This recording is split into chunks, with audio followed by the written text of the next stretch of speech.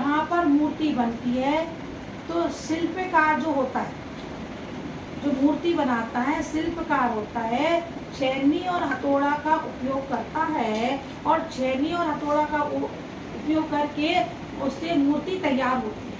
कई बार छेनी लगती है, कई बार हथौड़ा लगता है। उसके उपरांत पत्थर की मूर्ति आकार ले पाती है ऐसे ही आत्मा में कर्म के पिंड इतने भरे हुए हैं। कर्म पिंड इतने भरे हुए हैं कि इसमें कई बार छेनिया लगेगी, कई बार हथौड़िया लगेगी।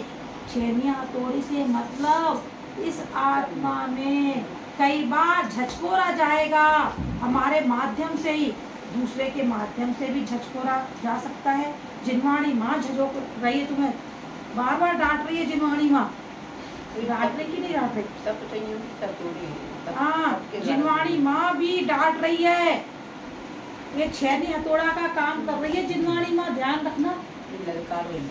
ललकार रही है काट रही है हाँ?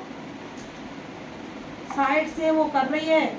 जब तो आप अनंत और सिद्ध की आत्मा की प्राप्ति कर पाओगे नहीं तो सिद्ध और अनंत सिद्ध आप नहीं बन सकते। अनंत सिद्ध बनने के लिए आपको पुरुषार्थ करना पड़ेगा। जिस प्रकार से कोई बच्चा यूपीएससी की परीक्षा देता है यूपीएससी की परीक्षा में पढ़ाई के लिए उसे 20-20 घंटे पढ़ना पड़ता है।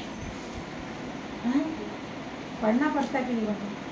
चारों तरफ़ से दिमाग को हटाना पड़ेगा, तब वह बन करके कलेक्टर बनता है। इतने बच्चे बैठते हैं और उसमें से कुछ ही बच्चे निकल पाते हैं। क्या है? आप एक सोचो।